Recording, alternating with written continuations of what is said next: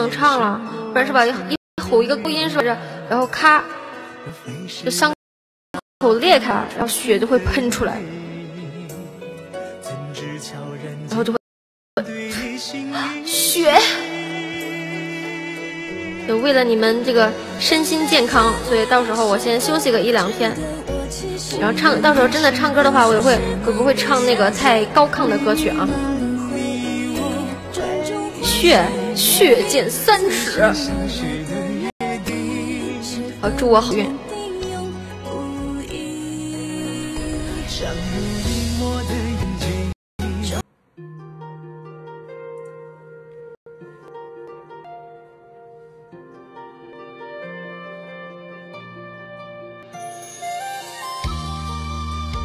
但是我拔牙的时候，肯定肯定肯定有很多血在嘴里，然后肯定大夫肯定会让我吐，然后然后一吐哇，全是血，我就可以演下血，我是不是活不久了？医生，你实话跟我说，我还能活几天？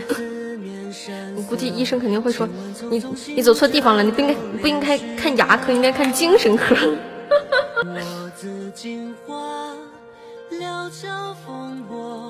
为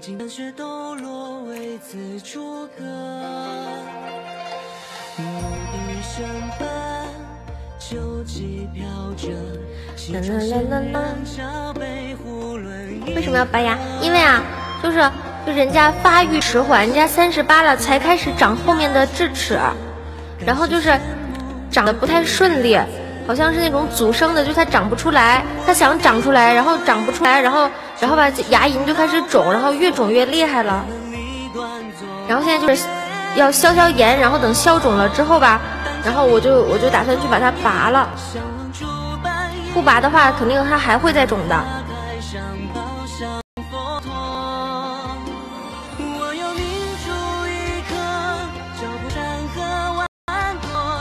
对你们。你们还没有长，就是你你们还没有长智齿的，有两种原因：一是你还小，二是你发育迟缓。但是你迟早都会长的，所以你们要做好心理准备。如果你们到时候像我一样，就是肿的很很厉害，就是赶紧拔了吧，就不要觉得说不拔也没关系的吧，我只要忍一忍的，它不肿了。你不要这样想，它会翻来覆去肿。它之所以会肿，就是就是它它是长得不顺利。可能长的位置不好，或者是，或者是那种阻生的，就是它它长不出来了，就你的牙龈挡着它，它怎么都长不出来，所以它就会它就会长一段时间，停停一段时间，然后过一段时间再再继续长，看看它能不能长出来。然后这种时候它每长一次，它一顶你的牙龈，你的牙龈就会肿，明白了吧？就你会你会肿很多次，这样的话还不如是吧？长痛不如短痛。不如把它拔了。对，智齿就是充满智慧的牙齿。那我拔了之后，会不会我的智商会受损？会不会？万一万一我的智商全部都集中在这一颗牙上，一拔我不就没智商了？拔牙傻三年。所以说你们以后一定要心疼我。如果我拔了这颗牙之后我傻了的话，你们以后要心疼我哦。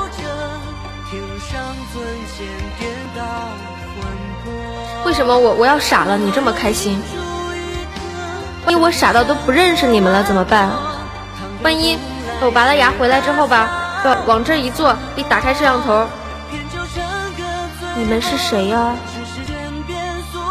我是谁呀？我为什么要坐在这开直播呀？你们送我的这个是什么东西啊？好吃吗？还有吗？不是已经傻了？我在演，人生如戏，全靠演技。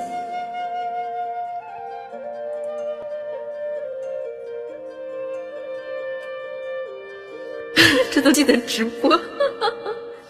哦，不记啊！我的导演，人家人家错了，人家演一遍。我要演一个。拔了拔了充满智慧的牙之后，没有了智商变傻了的这样的一个人，这角色真的好难驾驭啊！这是哪儿啊？我面前这个东西是什么呀？为什么这个地这个会出会出人啊？你们是谁啊？你们送我的这个是什么呀？我是谁啊？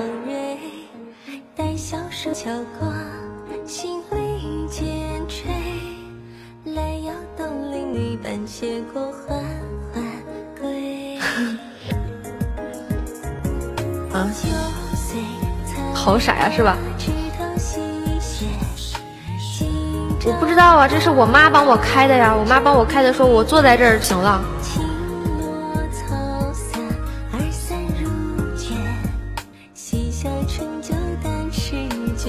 啊，这有一个人说：“小姑娘，跟叔叔走吧，叔叔给你买糖吃。”不，叔叔，我们不约。哎，我为什么会说这句话？哎，叔叔，我们不约是什么意思？为什么我会说这句话？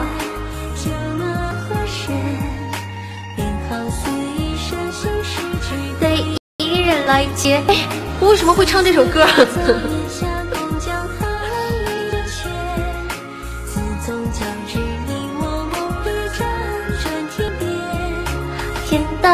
天青，素玉山尽。行了。咔，演的非常好。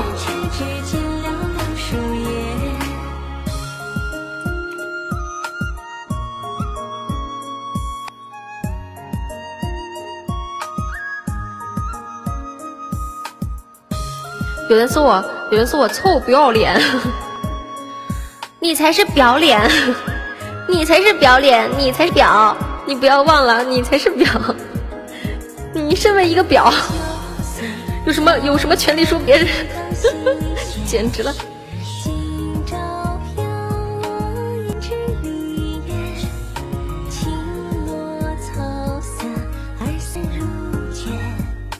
这是主播骂人吗？不是，就是他真的，他真的是个表来变身。我给你放一个变身音乐啊！